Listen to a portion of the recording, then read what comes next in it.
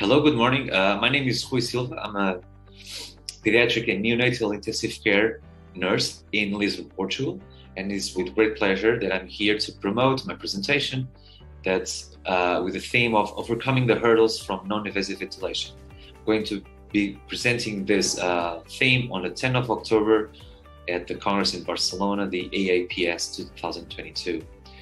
Um, uh, the importance of this presentation is the huge advantages that we have towards especially comparing with invasive mechanical ventilation.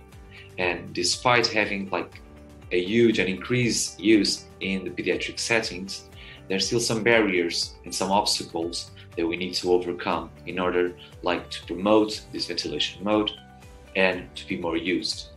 Uh, what I'm going to try to present on the 10th of October in my presentation is how we can overcome this. So, first, the barriers, which barriers and how we can overcome and how we can um, go ahead and make the most of it with this ventilation mode. There's a lot of advantages and it's like a lot of nursing led, which is great.